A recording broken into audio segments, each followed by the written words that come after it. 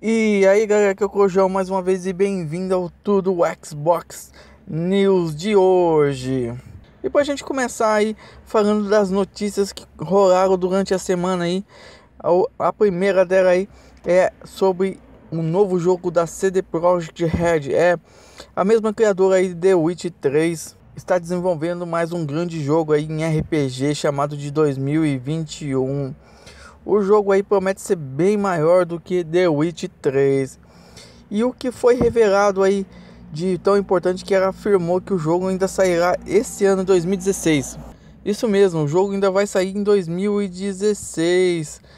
O grande jogo. E ela também afirmou que está trabalhando aí numa nova expansão para o The Witch 3 chamada de Broadwine. Então fica ligado aí, quem sabe na E3 aí ela vai revelar alguma coisa sobre o jogo.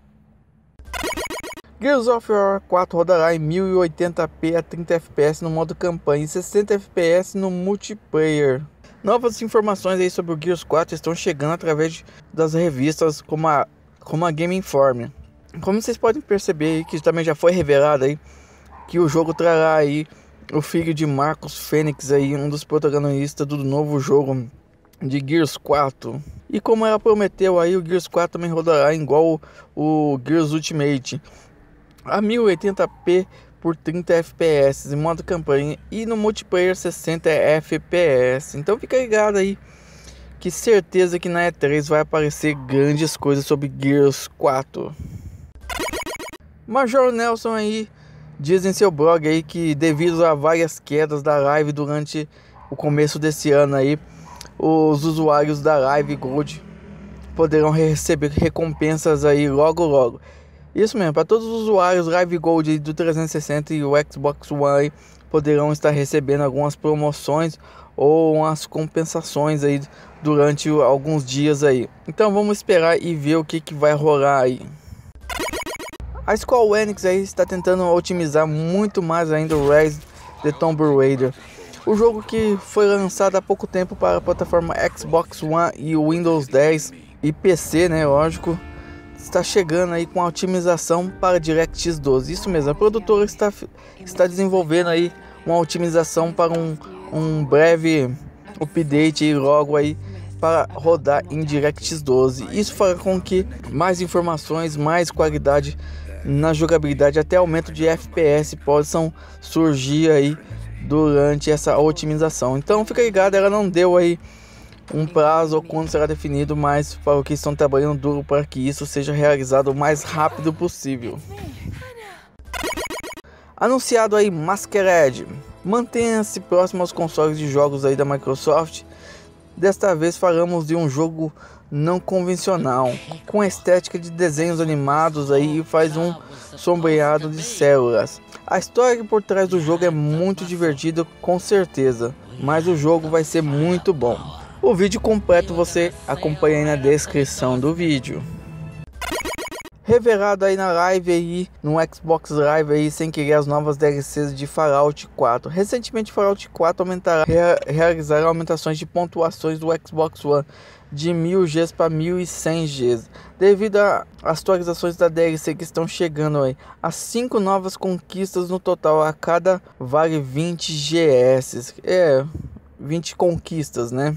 Essas expansões estão prontas aí para ser lançada é este mês ainda.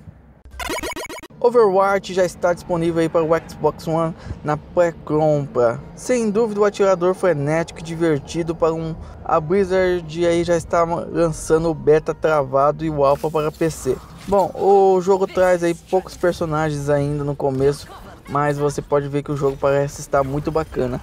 O vídeo completo você acompanha na descrição do vídeo. A Microsoft aí anuncia mais dois de cores diferentes para o Xbox One. Então, esses consoles são oficiais para o Xbox One, não são aqueles personalizados ou feitos por outras empresas. É, é direto da Microsoft, ela vai vender esses dois controles com cores diferentes. Final Fantasy XV aí poderá sair dia 30 de setembro deste ano. Se você é um daqueles apaixonados por RPG que estão aí esperando para sair esse, essa grande franquia do Final Fantasy em 2016 aí, como eu, aí eu também sou muito fanático em Final Fantasy 16, não vejo a hora de sair. A Square Enix aí é, pode ter revelado o seu próximo anúncio que chegará dia 30 de setembro. A criadora aí da campanha de Halo 5 aí trabalha aí no novo jogo de Star Wars. Isso mesmo, galera. Pessoal aí que trabalhou na campanha de Halo 5 aí revelou em seu Twitter que está trabalhando para um novo jogo de Star Wars futuramente aí. Então fica ligado aí, mais notícias sobre esse, esse desenvolvimento logo logo aí no canal. E para quem tá ligado aí, a nova temporada de Killer Instinct 3 está perto de ser lançada aí e mais novidades são, são divulgadas. E agora vazou uma imagem com o nome de General Han, que é o possível general da franquia Gears of War. Isso mesmo aí, galera. O general de Gears of War poderá estar chegando aí a Killer Instinct na nova temporada.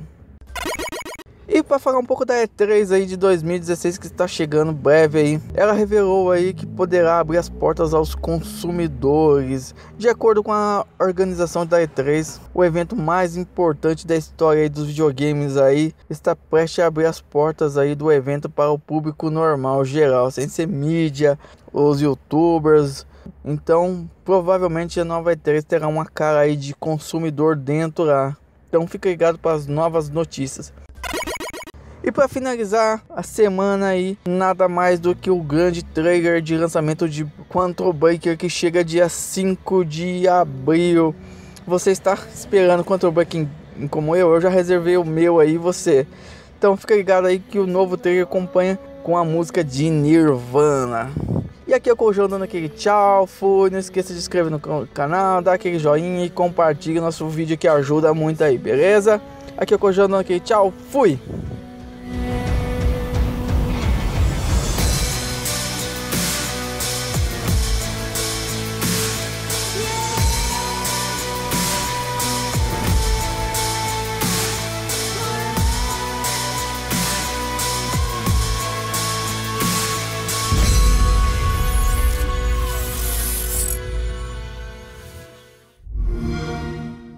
Play the greatest games lineup in Xbox history.